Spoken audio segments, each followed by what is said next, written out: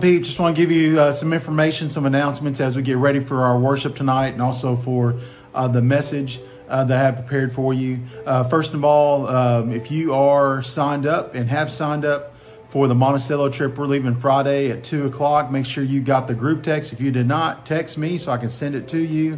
Uh, we'll be gone Friday afternoon, uh, all day Saturday. Be back a little bit uh, early uh, Saturday evening, uh, mid Saturday evening, I guess. But all the details, schedule, all that stuff, what you need to bring will be in that group text. So you make sure you need to get that. Also, tonight, today, uh, by midnight. If you want to go to our Real Days of Summer event next Tuesday to Ponca, Arkansas, we're going to go to Eden Falls, do a hike, and I think we can find a swimming hole so we can kind of get like refreshed. Um, heard there's a nice place there, so I'm looking that up. Uh, so just be ready for that. I'll get some information to you uh, probably uh, to uh, tomorrow or, or the next day, uh, getting ready for that Tuesday trip. But you got to sign up tonight uh, by midnight. So make sure you connect that way. And then our next hanging with Jose is next Wednesday. So this Sunday, you got to sign up for that as well. Looking forward to that. Just got a couple more of those, and then school's going to start. So um, hey guys, loving, loving connecting with you. Love getting together. Had a great week at camp. For those that went to camp, you know what I'm talking about. For those that didn't, man, you cannot miss next year. So we've got to make sure uh, that we're connecting together all along the way. But a big event like camp, man, you can't miss those. God was really moving and speaking. Had a great time. We had some fun. Uh, God really challenged us in His Word. So, hey, hope you can pray. You guys are still staying connected. You're getting connected in the Word, staying connected to one another. You're getting uh, your essentials uh, shored up so you get ready for school to start back uh, here in the next couple of weeks. Uh, and then we're going to be kind of getting geared up here in the student ministry, possibly after Labor Day. We're going to be looking at Sunday mornings maybe coming back, maybe Wednesday nights. Uh, that's not all confirmed yet, but we'll be talking about that soon enough. Uh, but we also have our interns uh, saying goodbye. They're about to head back to college. So uh, Emily Tripp is uh, was with us today. Matt Sparks, his last day will be next Wednesday. So if you get a chance to see him, if they're still around, man, give them some hugs. Uh, let them know that uh, you appreciate them, all the things that they've done for us this summer. Uh, love you guys. Got a special bit of worship. Me and my baby girl are doing a song for you, kind of a preview to Summer Sing. Hopefully, you guys will be here Summer Sing for Sunday night. Um, as we connect with Pastor Ken, and he's got an assortment of people that are lined up uh, to kind of bring their talents. Uh, we just hope and pray, not so much that we're awesome, that we're good, uh, but that you guys would come alongside and worship the one that is awesome and that he is good and that uh, uh, what an appropriate song we'll be singing burn the ships and just thinking about all the things that we've done in the past all the things that have uh, kind of kept us from being our best maybe those things that are not essential in life that we need to burn those and then the message i have is actually a sermon i preached before it was before camp but i want to just play it again as we kind of get ready um, because next week it's going to be part two. So I just want to make it seamless. Um, and hopefully you guys enjoyed last Wednesday where we kind of gave you just a preview, just a little snippet uh, of what camp was like. That was our uh, JV evening session. Uh, but we'll be using our senior high sessions for some of our Wednesday night worship uh, virtual elements. So you'll look forward to hearing from Pastor Jeremy uh, and what he shared with us at camp moving forward. So anyhow, got all kinds of good stuff. Biggest thing we got for you when we got some Jesus and we got the love of Jesus for you. So hey, stay connected, get registered, do your thing. Uh, but make sure that doing whatever you're doing is honoring God, and we love you. Uh, and we're praying for you. Can't wait to connect with you. So enjoy this bit of worship. Let me pray for us, and uh, we'll lead right into worship, and then that will lead us right into our video uh, sermon tonight. Uh, let's pray. Dear God, thank you for your love, your grace. Thank you for your word. Thank you for the opportunity we have to worship you. Father, I pray for our students. I pray that they'll connect with you in a real way. Uh, Father, just speak to us tonight. Uh, speak to us uh, as we come to you. Father, you promise us that if we look for you and we search you with everything we have, our heart, mind, our soul, we will find you. Father, I pray that when we find you, Uh, Father, it will be so great, such a great moment that we will not hold you to ourselves, that we will share that, share you with the world. So, Father, thank you for your love. Thank you for Jesus. Uh, thank you for the reason we have to worship. Thank you for the reason we have to learn more about you, that we would be equipped, that we would be called to go and share the good news with the rest of the world. We love you so much. We ask in Jesus' name. Amen. Hey, what's up, my peeps? Me and my baby girl, we're going to do a little number for you. Uh, she loves this song, and uh, I just love singing with her, whether I'm as quality as her playing. It doesn't matter to me. It's my baby girl. So uh, we're going to sing uh, Burn the Ships uh, uh, for King and Country, and she's going to play. I'm going to sing, and we hope you enjoy it.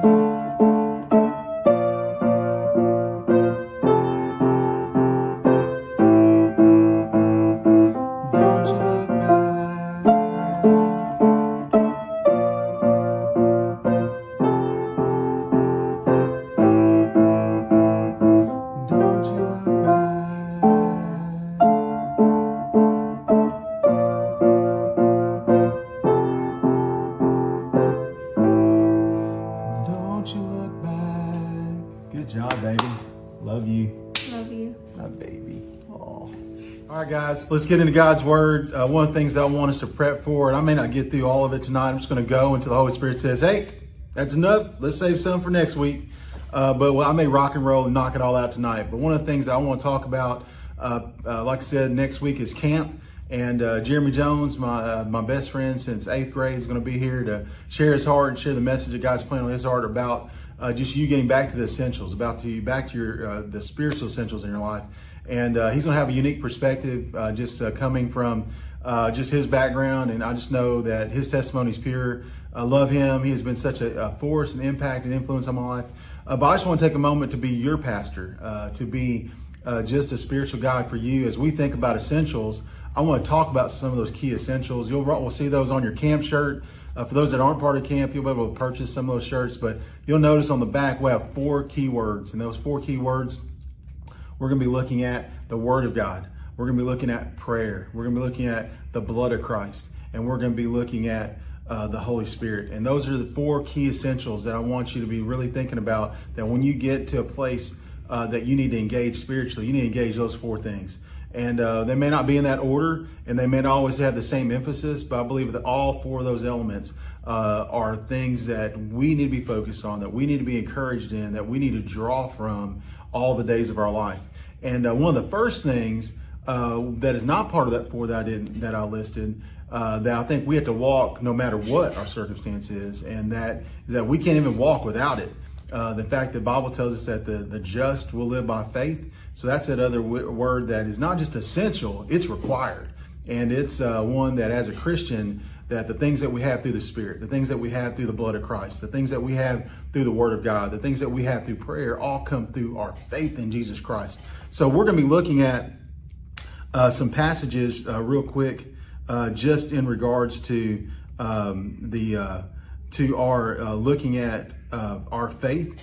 And so, you know, one of the, the greatest passages in all of the, the, the New Testament when it talks about faith is like the faith chapter, you'll hear it called.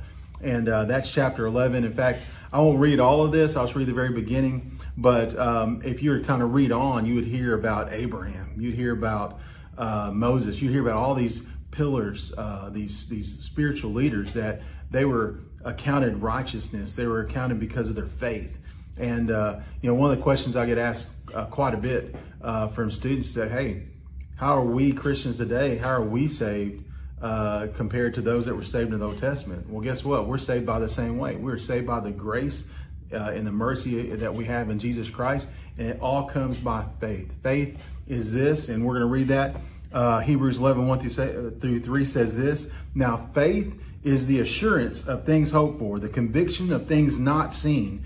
For by it the people of old received their commendation. By faith we understand that the universe was created by the word of God, so that what is seen was not made out of things that are visible. They're made from things that are invisible uh, by the one that is invincible, and that's God, our, our Savior, our Lord, our the creator of the world, the master of the universe, the Alpha, the Omega. I'm telling you that the way that we connect to our God and as we receive the things that He's offered us, and that's the Word of God, uh, how we receive communication from through prayer, the Holy Spirit that receive, and then the most perfect gift ever that gives us the restoration to be able to connect with Him in a way that we'll be able to be in His presence when we die is uh, through the blood of Jesus Christ. It all comes by faith. You see, it's it's faith that we have the assurance in our heart, the peace and the joy that comes to the Holy Spirit that we know that we know that we know that we're going to faith that what God says is true, and His Word tells us this that if we confess by mouth the Lord Jesus Christ, believing that He died and rose again, we shall be saved. Hallelujah, hallelujah, hallelujah. See, I can say it and I could manipulate it in my mind that logically it makes sense. I can't even get to a point where um, I've received it in my head, but I may not have received it in my heart. Maybe I haven't get that far and I received it in my heart, but I haven't received it in my spirit. I'm just going to tell you this how do I get to a place where I'm at peace, that all of those are accounted for, that my body, my mind, and my spirit are synced up? It's all by faith. Because I trust who God says He is. I trust in His trueness. I trust in His power. I trust in His control. I trust in His deliverance, His providence for me, that He gave me Jesus that Jesus died on the cross, and we'll talk about this in a minute, but that his blood was shed for me. And even though I can't see my God, even though I can't see even my Jesus, I have an assurance in my heart because I believe that Jesus is who he says he is, that God sent him, and that I've received not just the salvation through Jesus Christ, but I received the affirmation of the Holy Spirit into my life because I believe. And it's all through faith. See, I'm able to receive grace and mercy and the blessings and the presence of God in my life because I have faith. And a lot of times, I'm just going to tell you, students, you guys struggle. In your head, you may have figured it out, but it's taking you a while to get it from your head to your heart. But I'm to be honest with you. Some people are like, hey, man, that's the end of the road. Now, I'm just going to tell you that's not true. Because I see you guys walk into my office and you're struggling, you're hurting, you're emotional wreck. And like right here in your heart, right here in your heart, you're like, I, I, I know that Jesus is Christ. I know Jesus is my Savior. I, I know it in my head. I know it in my heart. But somewhere along the line, your spirit's not connected. And I'm just going to tell you that your spirit doesn't connect because you are not surrendering. Your spirit's not connecting because you're not walking with God. Your spirit's not connected because you're not walking by faith. So you think you got it figured out in your head, you can feel it in your heart, but spiritually, in your spirit, you're not truly surrendered. You're not truly declaring God in your life. You're not declaring number one in your life. And that you're held on to things of pleasure, things that are vices in your life, and you're just not surrendering those things. You know, those are three elements I think you need to deal with. I'm just going to tell you, as we talk about the word, the blood, uh, prayer, and we talk about the Holy Spirit, you can't have those things in its fullness without having faith. So I'll just tell you this, you heard me say this. Know that you know that you know, nail it down. Know that Jesus is your Lord, that God is who he says he is. It's okay if you doubt. There are times when I doubt too. But at the end of the day, when I look to his word, when I meditate, when I turn to prayer, it is reassuring to me that God reveals himself and that I sense not just in my mind and in my heart, but in my spirit that I'm at peace because I have faith. And that's my part. It's not so much that I can do anything to earn my salvation, but my response to the truth that Jesus Christ is my Lord and Savior, that He died on the cross, I'm able to faith that that is true, that it is the truth, the ultimate truth. Jesus says, I'm the truth, the way, and the life. No one comes the Father by me. And in my heart, I'm assured that that is true because Jesus said he says it is, and he says, "Me and the Father are one." Therefore, I believe that God is as well. So, guys, you got to have faith. It is the assurance of things hoped for. What do we hope for? we hope to be in the presence of the Father one day. We get to be reunited with Him. That kind of gets back to that dream thing I tell you about. You know, what do your dreams look like? Are you dreaming in the presence that you're going to be in the presence of God, that you desire to be with Him in such a way that all the things of this world could go away, but you are guaranteed you are looking for God and you're seeking Him out. And He says, You'll find me when you seek me with all your heart. So, guys, you got to have faith. And then I love this. Ephesians 2, 1 through 10 says, And you were dead in the trespasses and sins in which you once walked, following the course of this world, following the prince of the power of the air, the spirit that is now at work in sons and sons of disobedience, among whom we all once lived in the passions of our flesh, carrying out the desires of the body and the mind, and were by nature children of wrath, like the rest of mankind. But, but, God being rich in his mercy because of the great love with which he loved us, even when we were dead in our trespasses, made us alive together with Christ. By grace you have been saved. By grace you've been saved and raised us up with him and seated us with him in the heavenly places in Christ Jesus, so that in the coming ages he might show the immeasurable riches of his grace and kindness towards us in Christ Jesus. Now get this, guys. For by grace you have been saved through faith. Through faith. And this is not of your own doing, it is the gift of God, not a result of your works, so that no one may boast. For we are his workmanship, created in Christ Jesus for good works, which God prepared beforehand, that we should walk in them. So, guys, I'm just going to go through this just a little bit again, and we'll talk about the world that we walk in, this darkness, that we surrender to the power of the air, the spirit that's now working in the sons of disobedience. But God, in his rich mercy and his blessings, he made us alive in Christ through grace. And we received that grace and was saved through faith. See, he can he can prepare the way for us and he can give us Jesus. And that is grace because we don't deserve Jesus. We don't deserve resurrection. We don't deserve uh, to be made white as snow. We don't deserve to have uh, the assurance that we'll be able to spend uh, eternity with God, that we'll completely not go to a place that's abandoned of God, that's turned away, that we are turned away from God, that we will live in the gnashing of teeth and the wailing, and we'll, have this this overpowering regret for the times that we spit in God's face and we reject Him over and over again. We don't have to live in that because we have Jesus, and He can give us that because He gives us grace. He doesn't see our sin; He sees He sees Jesus, and He sees Jesus covering our sins. And when we think about that, that's grace. But the fact of the matter is this: listen, Jesus is still Savior no matter whether you believe Him or not. Jesus still died on the cross and overcame death, and he's still the way, the truth, and life, whether you believe it or not. And that's grace. Because God, you know, just like Romans 5 8 says, Jesus says, even yet while you're sinners, I died on the cross for you. See, the grace happened through the crucifixion. Grace happened when Jesus was sent and God delivered his son and sent for him to die so that all could be saved. That's grace. How do we receive that grace? By faith, believing that it's true, by receiving the gift. Gets back to that analogy you've heard me talk about on Wednesday nights where I got this nice, pretty gift with the bows. Grace is that package, right? But until you start ripping that package and receiving it, then you don't actually benefit. You don't actually, you know, you don't actually ha- are impacted by that gift.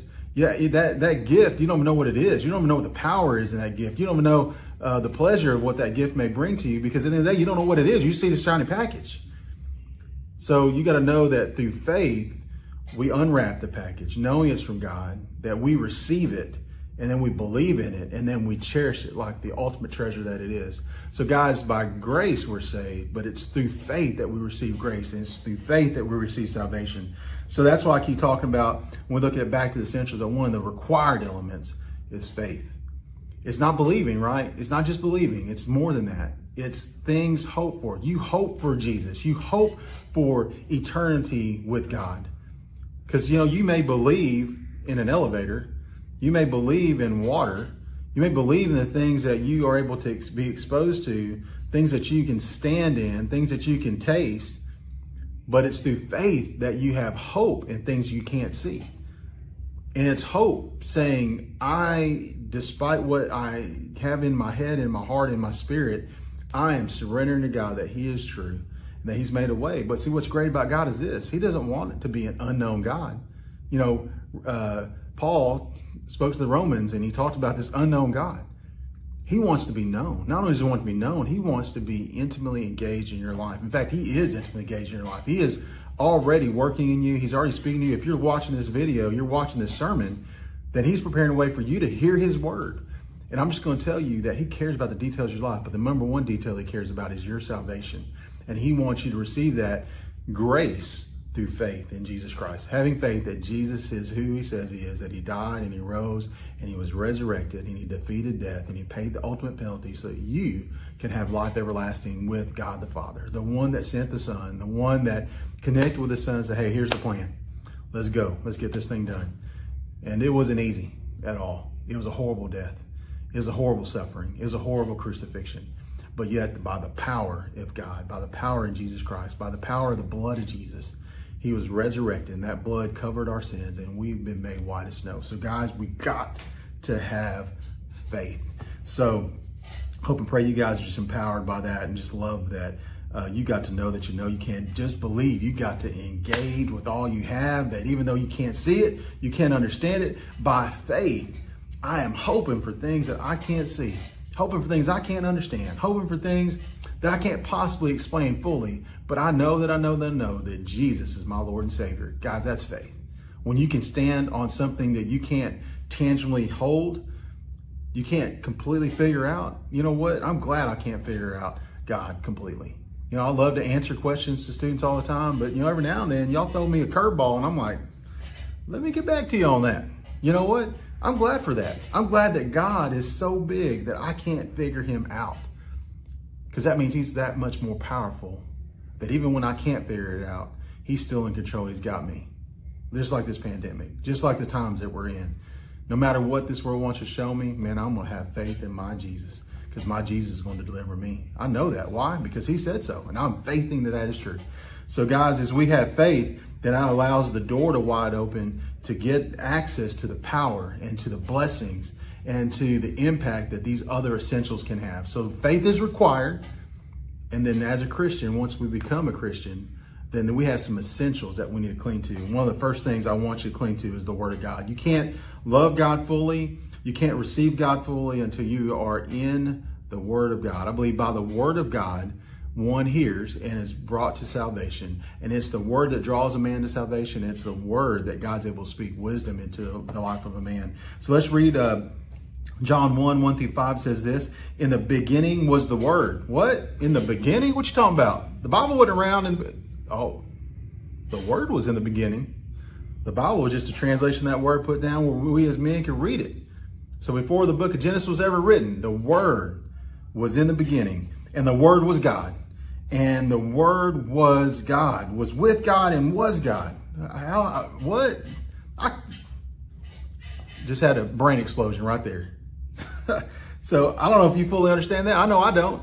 But all what I do know is that it said it was in the beginning, the word was with God, and the word was God. That means the word is God. That means if the word was before the Bible, was before we could even manipulate it as men, that God had already prepared a way to send his message to us to give us instruction for life, to encourage us, to lift us, and that he was the embodiment of that word was the embodiment of him because it says the word and God, they were the same. Um, he was in the beginning with God. All things were made through him, and without him was not anything made that was made. In him was life, and the life was the light of the men. And the light shines in the darkness, and the darkness has no power to overcome it. See, darkness can't overpower the light. We have light in God's word. We have life in God's word. And all things were made through him. So the atheist, made through God. The worshiper, made through God. All things, everything, good and bad. You know, we always kind of throw darts at God and say, you know, why'd you let the sin in this world? He didn't let the sin in the world as like a like an evil you know, warlord that just kind of says, hey, let's just see if these guys can handle this pandemic, right? Can they, can they handle this heat? Can they handle this uh, curveball? That's not, that's not the God I serve. Because see, God loved us enough, he gave us free choice, the freedom to choose him. And it was us that brought sin into the world because we chose to reject him. We chose to make him number two. We chose ourselves to be satisfying ourselves. And we say, hey, you know, Adam and Eve, they did that. That's not me. Man, you better shut your mouth. If I took John and placed him in place of Adam, I guarantee you John's going to fail. If I took Judy in place uh, of Eve, I guarantee you Judy's going to fail.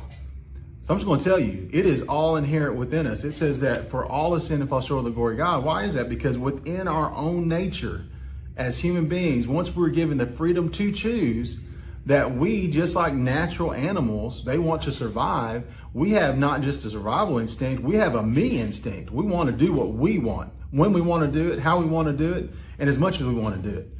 I don't have to ever teach a kid to say mine.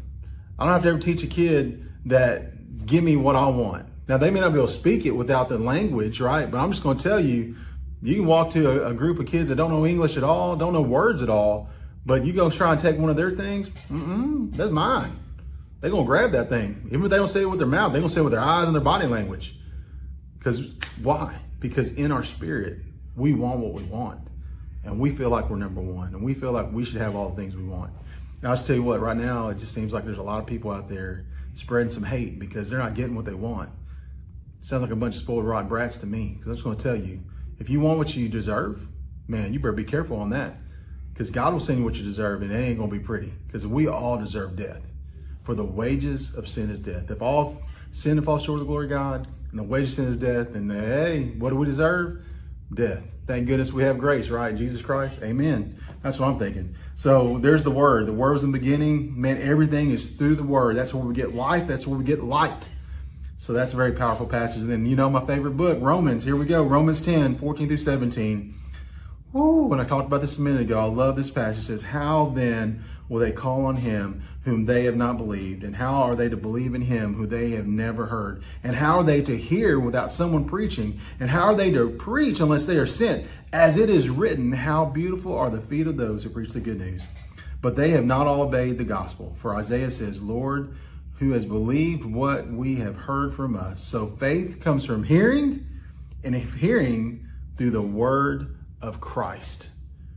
Guys, we're each and every one of us.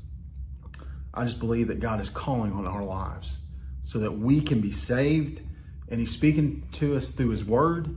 Um, as I this now, I'm just sharing Romans 10, Romans 3, Romans 5, Romans 6. I'm sharing all these different passages, kind of talking about sin and uh, you know wh- what Jesus did for our sin. They died on the cross even yet while we're sinners, and now here that even right before. Uh, uh, passage, uh, verse 14 and, in Romans 10 9, you've already heard me say, if you confess by mouth, believing Lord Jesus that he died and rose again, you shall be saved. It's saying this that from faith comes from hearing. From hearing. When we hear the word, that we have faith in what we've heard. And that hearing comes, it's like a supernatural hearing almost, because it comes through the word of Christ and it brings power. It's not just like listen to music. You get moving, right? When you hear that, your, your jams that's my jam right there. I want to, whoo, it gets me moving, right? Listen to me. It's more than that. It's like a spiritual engagement. It's like God intimately yokes with you when he shares his gospel with you, the good news. And you're like, man, that is good. And I want that. And you believe it because you hear it. And so that faith comes. And because of faith, we have it through God's word. So I'm just telling you, man, this is awesome. Just think about the power of God's word, the word of Christ that the word that we have is that Christ, Christ meaning Savior, meaning that He came and He died, surrendered His life for you to pay the ultimate price, to pay for your sins so you can have eternity in Him. Guys, if that's not an essential that you need, man, you need to get a spiritual paddle and just beat yourself, right? You just need to just get in the corner, put yourself in a timeout. Because at the end of the day, guys, if you ain't spending time in God's Word, you're not learning about Him. You're not learning about what is what He wants for you in your life. You don't. You're not learning about who God is. Man, if you love God, you're gonna spend time to figure it out. You know, I remember dating my wife. Uh, you know, here I am dating Miss Debbie, and man, every time I got to to connect with her, talk to her, hang out with her, I was constantly trying to learn something, some, learn something about her, what she liked, what she didn't like. Because she didn't like it, I didn't do it anymore, right? Or I didn't give her that, or I didn't buy her that. But if she liked something, man, I'd buy her that same thing over and over again. If she liked something, we go do that over and over again. If she liked to talk about something, that's what we talked about. Man, I wanted to please her. Same way with God, guys. Man, you get in a relationship with God, there's no way you can know all of it. But if you love him, then you're going to find out what he likes. You're going to find out what he's about. You're going to find out the things to do and things not to do, the things to engage in, things not to engage in. And why do you do that? Because you love him. So, what's your time in God's word saying about your love for God? If you spend 15 minutes and it's been just now, the 15 minutes we spent going to God's Word, is that the only time you spend in God's Word? So you're waiting for me to chew up the food and spit it out so you can you can have regurgitated food? Man, I don't know about you, but when I have a steak, I don't want anybody chewing my steak for me. I want to eat it fresh. I want it hot.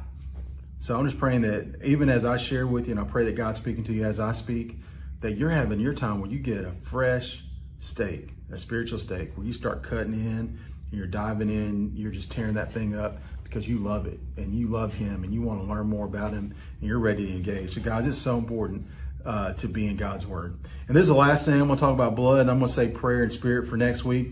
Uh, not next week, but two weeks from now. So here's the deal. Next one is the blood. We talked about the word. The word brings salvation. Uh, that the hearing, we have the hearing. Um, that draws faith in so that we have faith in Jesus Christ. But we got to talk about the blood. So let's read Ephesians 1, 1 7 says this In him we have redemption through his blood, the forgiveness of our trespasses, according to the riches of his grace. Man, it funny how these words just connecting? We were talking about faith, and then we start talking about the word, it pointed back to faith, and talking about grace, and now we're talking about blood, and it's pointed back to grace. Why? Because it's grace that we received by the redemption that we have in Jesus Christ. You know, his blood was shed, and it wasn't just something that was just given, it was something that was sacrificed. See, Jesus was sacrificed. Just like in the Old Testament, it was a need for sacrifice, for something to be cleansed, or something to be imparted righteous. We had to have blood shed for us. And luckily, Christ came and stand in the gap for us. And it wasn't our blood that was shed, it was his blood that was shed. And in this passage, he's saying, through his blood, we have forgiveness of our trespass. We have forgiveness of our sins. Guys, I know blood is gory, and if you ever watched The Passion of Christ, you ever watched some illustration of the crucifixion, you see God, Jesus' blood, he's got that crown of thorns, blood coming down, he's got, you know, blood coming out maybe through the side where they pierced his side, just just his body all torn and snared. It's just so, you know, it's like gross. You just don't want to see it. And it's just, it's just really appalling to you. I want you to know that that had to happen so that your sins could be forgiven, that his blood had to be shed, his innocent blood. So he didn't do anything to deserve that anything. He walked without sin. His blood did not have to be shed for his sake. His blood was shed for your sake. And that because we have that blood that was shed, we have redemption. We have been made where we were broken, we were ugly, we were tattered, we were torn, and we've been redeemed. We've been made new again. We've been uh, collected as a bad debt that's now been made in the good. And that those sins that caused death sentence to be placed on our hearts and our heads that the wages of sin is death, that those wages have been paid, and that we don't have to walk in death anymore, but we can walk in life. So, guys, we got to have Jesus' blood. Got to have Jesus' blood. And in fact, the last passage we'll have for tonight, 1 John 1 5 through 7 says this This is the message we have heard from him and proclaim to you that God is light and in him no darkness at all. If we say we have fellowship with him while we walk in darkness, we lie and do not practice the truth. But if we walk in the light as he is in the light, we have fellowship with one another. And listen to this, guys. And the blood of Jesus, his son, cleanses us from all sin. And we talked about faith. I just want to tell you, it takes a lot of faith for us to believe in that. That his blood cleanses us from all sins. Now, listen, I'm a nerd. I mean, I love science, I love math, I love history, I love reading stuff, I love studying stuff. Now, I've studied this for a long time in my life. And I, I believe it. I faith it. And I proclaim it. I preach it.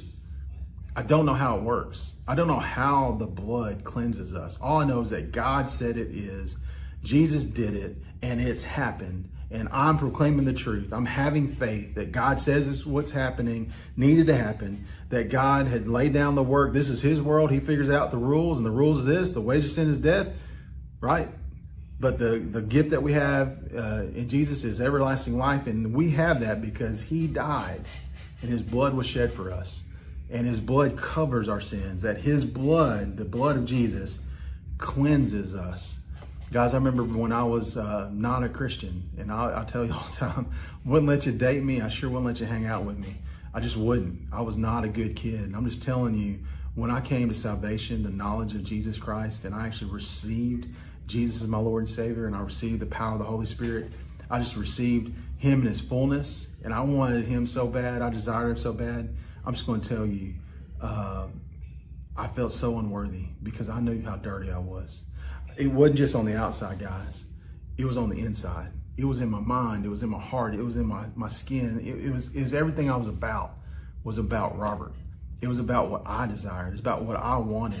And even though I may have intentions for good, I didn't have the power to do good because the power to do good is in the righteousness of the Holy Spirit that we receive that, that power. I could be good to people, but ultimately I was doing that just so I received favor. So people would like me. So I could have love. Maybe you receive the things I wanted. Maybe it was a thing. Maybe it was a person. Maybe it was a thing with a person. Whatever it may be, I'm just telling you this. It was the things of this world. I'm just going to tell you the things of this world always make you feel empty. It makes you feel dead. And I remember thinking, man, Jesus, his blood has made me clean. Man, I remember just thinking, white as snow. What can make me white as snow? Nothing but the blood of Jesus Christ. And when I thought about that, and I think about how his blood can cleanse me, man, I thought that's some powerful stuff. You know, it's like bleach. It's like spiritual bleach.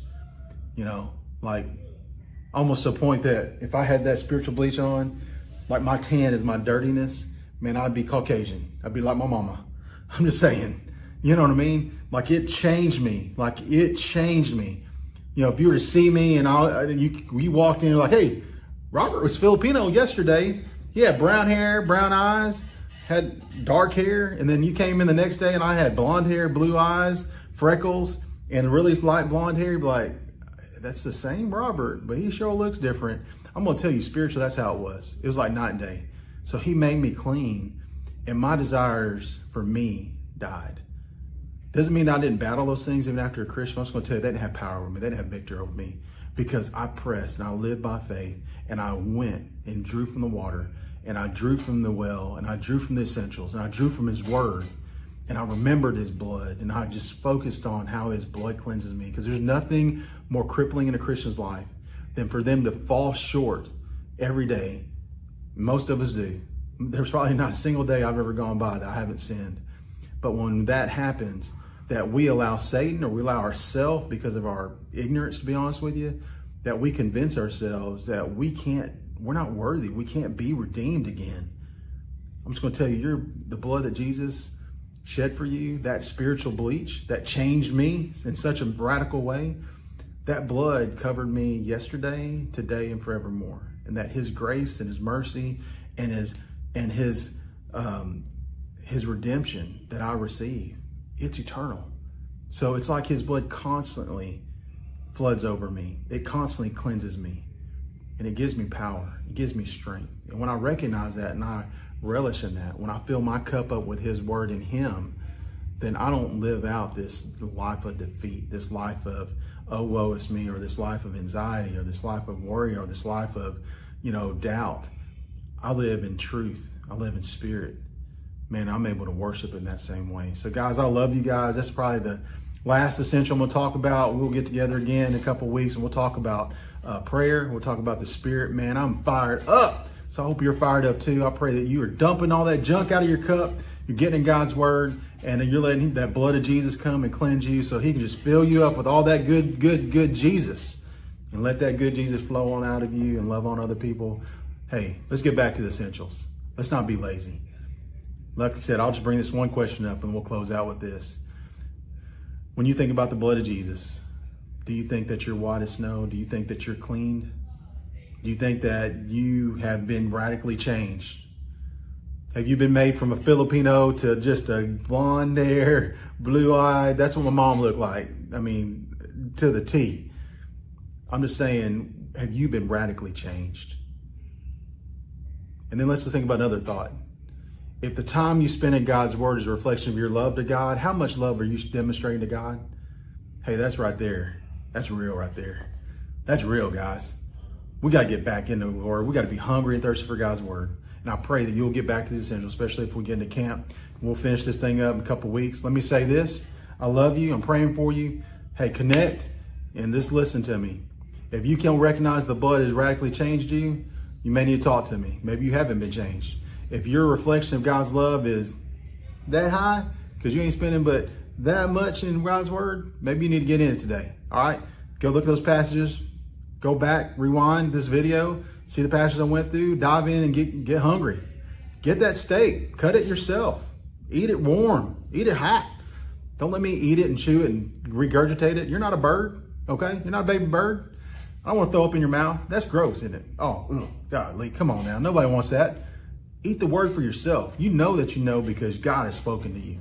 Hey, I'm going to love you right now by praying for you, and we're going to engage. Looking forward to it. Let's go. Dear God, just thank you for your word. Thank you for uh, your blood.